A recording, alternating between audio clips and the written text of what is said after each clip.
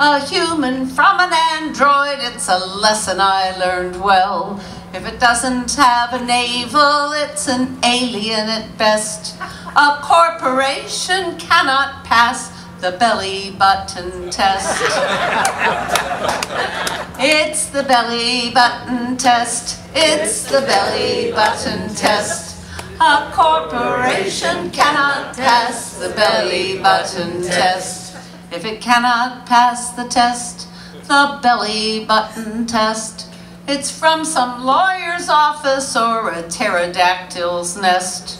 Don't tell me it's a person, it is a thing possessed. A corporation cannot pass the belly button test. It's the belly button test. It's the belly button test.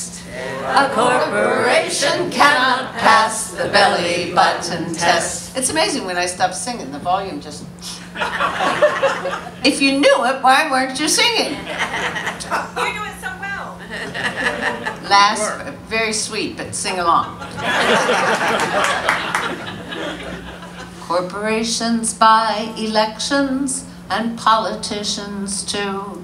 And though they cannot reproduce, they surely love to screw with our oceans and our forests and our people without rest.